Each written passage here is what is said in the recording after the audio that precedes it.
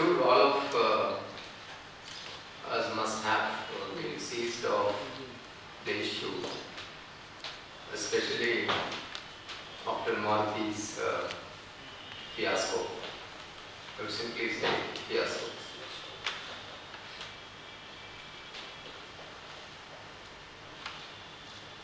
At the backdrop of uh, large scale employment of contractor employees, where otherwise the re- regular employees should have been deployed.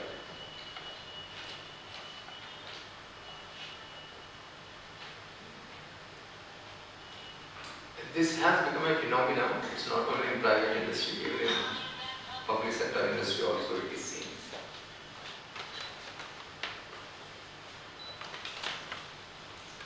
I visited uh, sales uh, mines in Jharkhand bordering Orissa.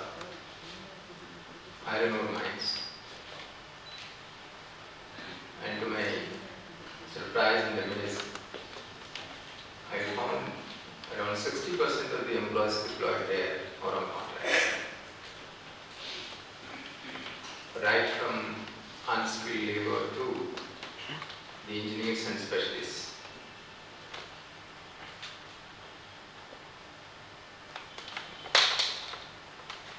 And no wonder the attraction is that contract labor is cheap. And when I'm saying labor, we include engineers and specialists and professionals also there. Because also have been outsourced and engaged in the same manner.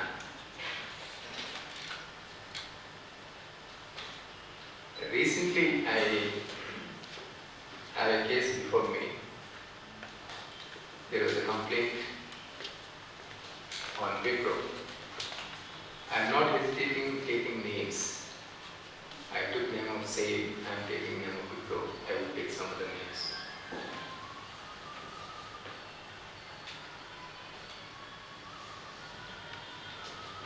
The MBAs and MCAs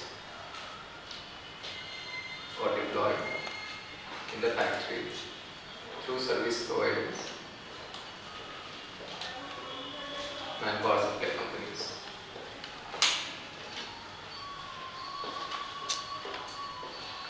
And at entry level, they are paid 9,500 rupees. And for the similar position, similar work profile, Wipro pays 40,000 plus. Whatever they book, depending on you know, whatever the rationale they have.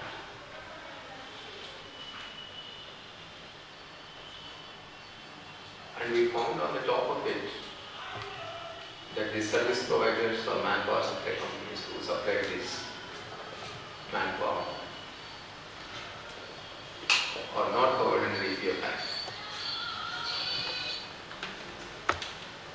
Where even the basic was shown less than 6,500 when we have gone into the details and scrutiny. And Wipro was also surprised because you know as a principal employer they never knew that that the service providers are not extending the benefits because they have when they were engaging service providers they would have just seen whether they are they have a PF code number or not. They have a PF code number and they would have shown it to Wipro and Wipro would have been more than happy to engage thinking that they would be extending the PF benefits anyway. But the fact is otherwise.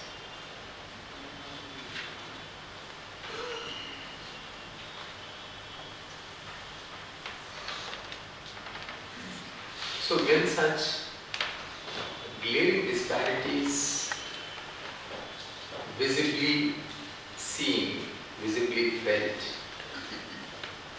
by both brackets of employees, contract employees and the permanent employees. Naturally, there is a discontentment, a mistrust.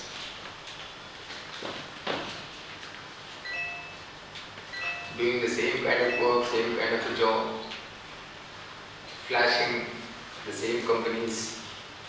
Uh, We have found that these people, those who are supplied and uh, supplied by the manpower supply companies, were flashing Wipro tax as their employees of the Wipro. At least we can understand if they are flashing the tax as the manpower supply providers. No, doesn't like that.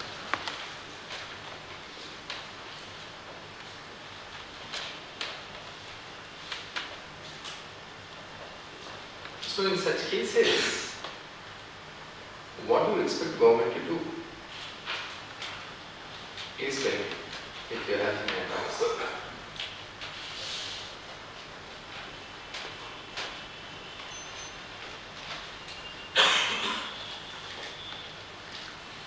But the way forward.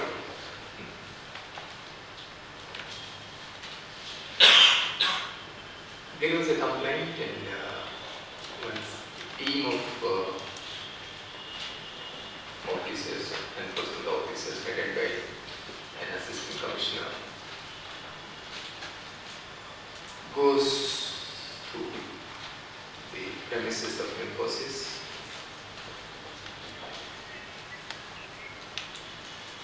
Before uh, they start their scrutiny, telephone comes from the to assistant commissioner to leave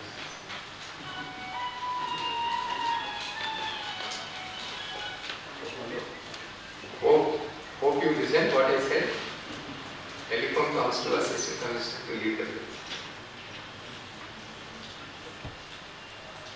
I am taking names.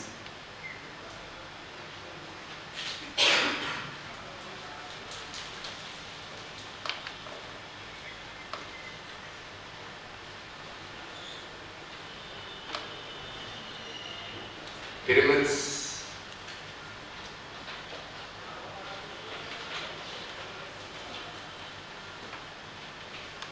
There was an inquiry of certain evasion.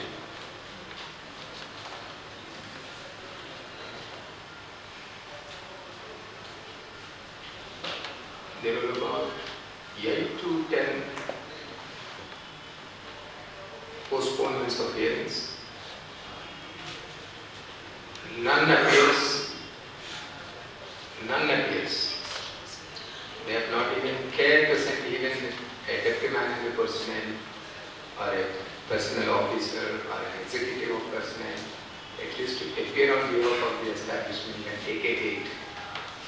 None appears eight to hearings.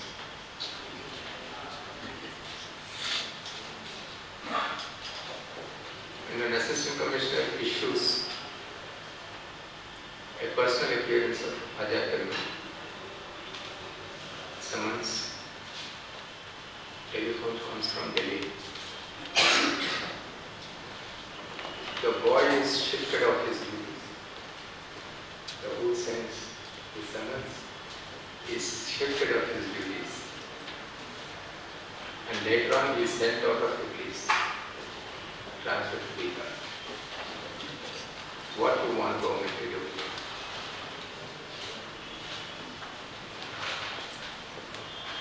I can give. These are all general. I can tell what happened to me as an officer. I was Commissioner Madurai. Yesterday, today no, Sivakasi is fired in uh, one of the factories. So I was keen on, uh, I went to Sivakasi as a Commissioner Madurai called all the fireworks management manufacturers in a meeting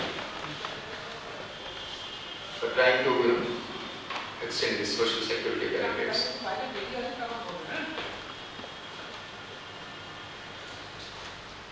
I was removed from Madurai. I was transferred within 11 months of my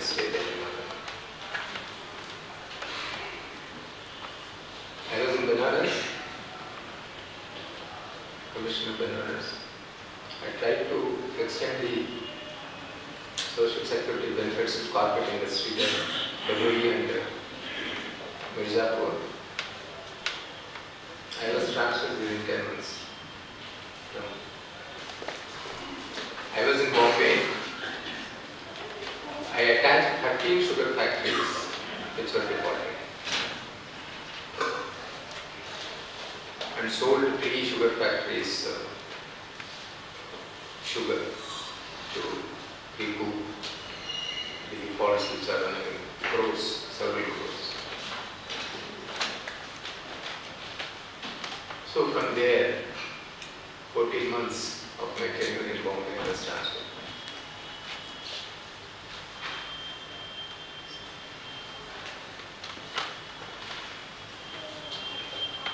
So on so forth.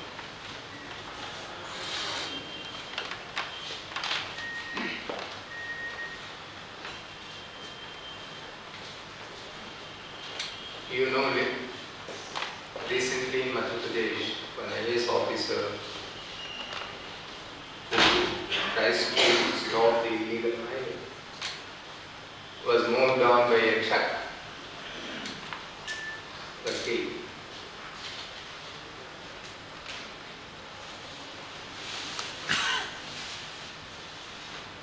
What you want to do? In what way you want us to help you go way forward?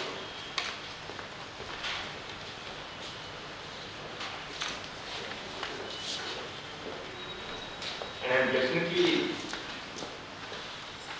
you know,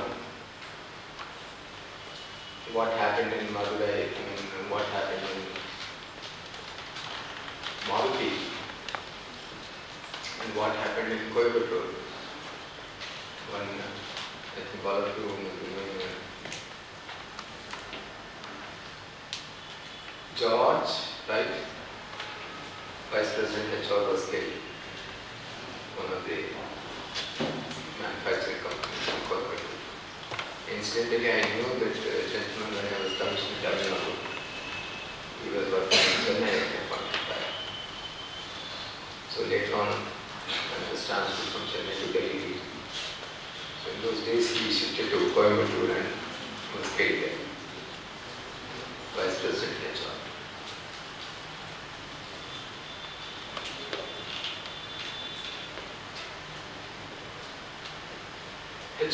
Managers have a very tough job to handle with, especially at this backdrop, where simmering discontentment brewing because of this disparities, leading visible disparities between permanent and contract employees. It's a tough job for the HR managers.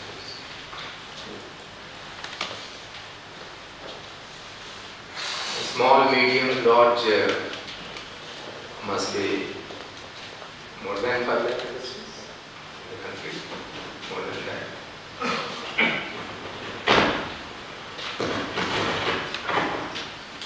So every maybe you know three years or four years we listen in sporadic cases like this where HR managers, whatever may be the capacity, manager to vice president, or being killed. But I should definitely congratulate all these five lakh plus industries uh, HR managers handling situations so well, so beautiful, being able to cut across these dilemmas and managing the contract labor and permanent labor so well. All kudos to the rest of all the 5 lakh plus HR managers. Maybe all of you have to think very, mean, restructure, especially this salaries and uh, one way is to reduce the permanent employee salaries right? And increase uh, these contract employees' salaries so that you know there is a balance. You can't continue to have this kind of a disparity of uh, 600% to 1000%. So reduce permanent employee salaries and increase contract labor salaries. Okay, 20%, 30% disparity is okay. 20%, 30% is okay, but not so much. 600% to 1000%. It's not uh, done. In China, it's, it's, it's very interesting to study China. I am told, I read it, from the party there will be a coordinator drafted onto a particular factory. And the factory places all their requirements of professionals, skilled and unskilled workers to this coordinator. And coordinator from the party and the factory management sit together, decide the salary, wages, everything, and decide the qualifications, experience for each post. Then it is the job of the contract, I mean this coordinator, to put all the people, including professionals, at the disposal of the management. And any day, if management feels that a particular person is not coming forth, not up to the mark, not productive enough, not efficient enough, it will be to the coordinator and that person is removed. No hassles, no labor codes, no labor codes, no hassles, nothing.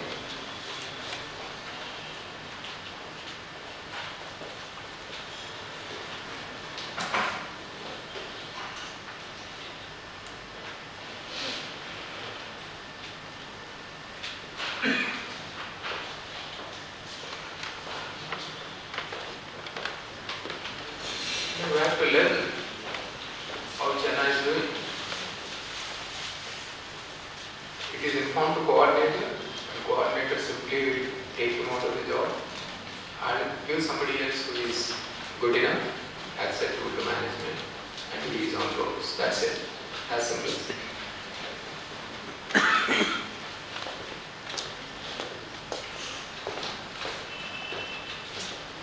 the kind of growth rate that the China is registering, the way manifold it is in the areas of defense, in the areas of uh, especially naval, air force, and trade and commerce, manufacturing sector. I am sure many of you know that 70% of steel and cement of the entire world consumption is consumed in China. They are laying railway lines connecting to London. They are laying railway lines connecting to Switzerland, Australia, Singapore. Without our knowledge, we didn't even know they built world-class naval bases near Karachi, near Sri Lanka, near Burma. We didn't even realize they are ready.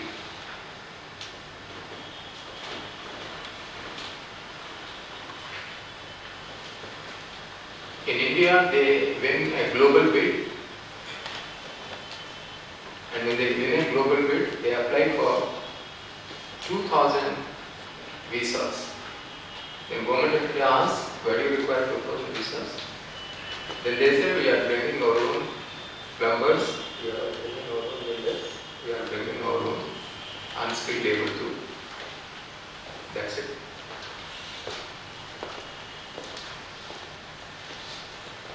They know that their people will work. They, they give five times productivity than what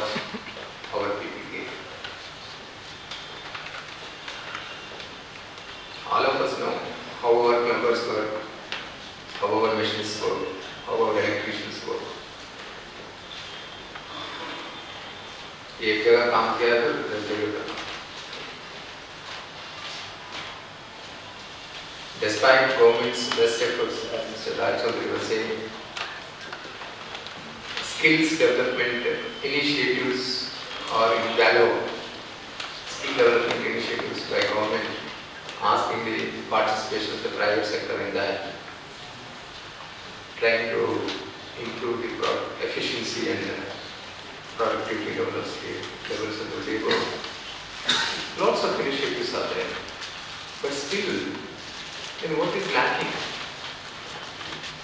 The commitment. Mr. Raj was talking about Japan. The love for the country. He said that employers are Japanese, employees are Japanese. Where is the question that they cheat each other? So beautiful. So beautiful. We have to catch it. You know, learn a lesson out of that. Love for their country. That's what is there in China. That is what is there in Japan. That is what is there in Thailand. That is what is there in Malaysia, Singapore, Taipei. The kind of growth that Taipei today achieved, I was reading somewhere, Taipei, want to, to go and see to believe the kind of country it is and the growth it has achieved. The analysts say that we will take 120 years to achieve the growth. Imagine. And despite the fact that we are number two in our human capital worth, when I am saying human capital worth, I am talking about the technical, managerial and scientific skills. We are number two in the world. We are number two in the world. And as far as natural resources are concerned, we are number two in the world. Then why is it? Why is it? We from below out of 270 countries in the world. We are 267 country in our GDP. Why? What is pulling us back? The love for the country. Citizenship responsibility. Citizenship responsibility. Absolutely zero. We just don't bother.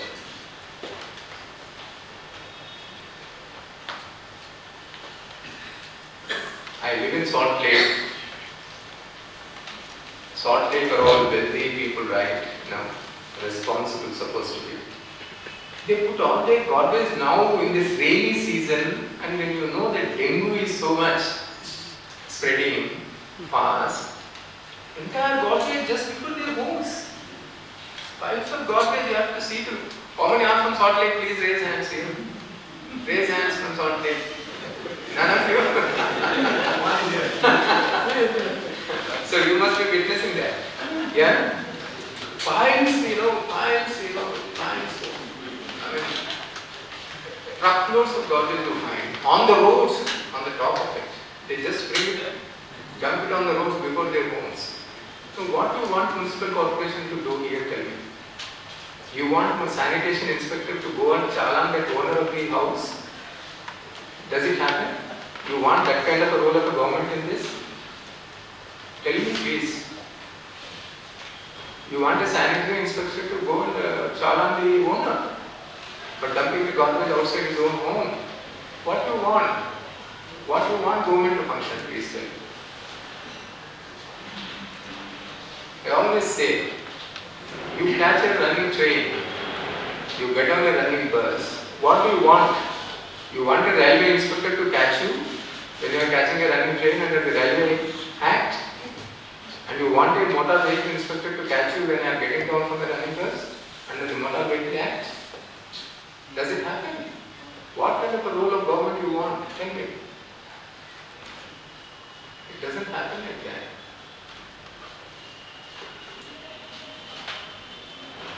We have to be responsible.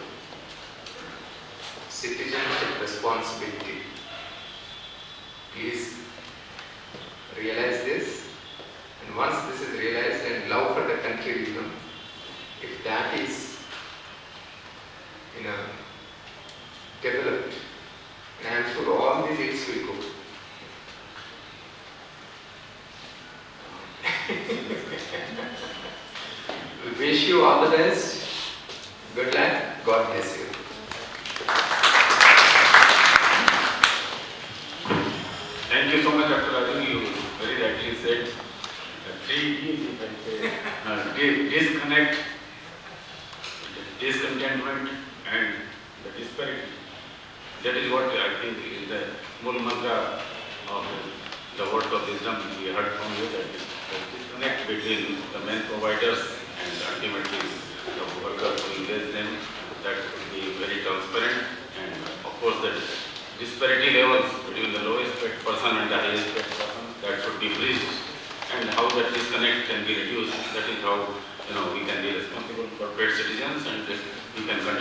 effectively for our nation and nation's growth. And have given examples of all the countries where the love for the nation and, you know, the nation comes first. That's how we need to inculcate ourselves. With this, I will now request uh, Sri P.C. Jana, who is holding a very, very important post as a national uh, head of the ESIC, Eastern, Eastern India and uh,